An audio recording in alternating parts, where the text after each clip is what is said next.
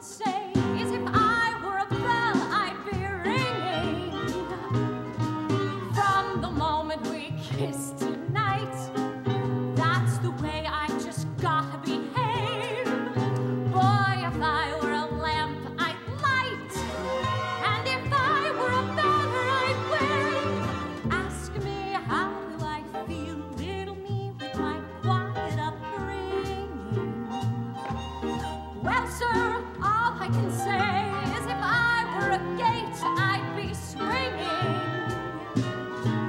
And if I were a watch, I'd start popping my spring. Or if I were a bell, I'd go ding dong, ding dong, ding.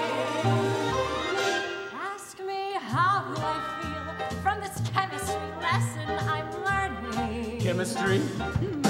Well, sir, all I can say is if I were a bridge, I'd be burning.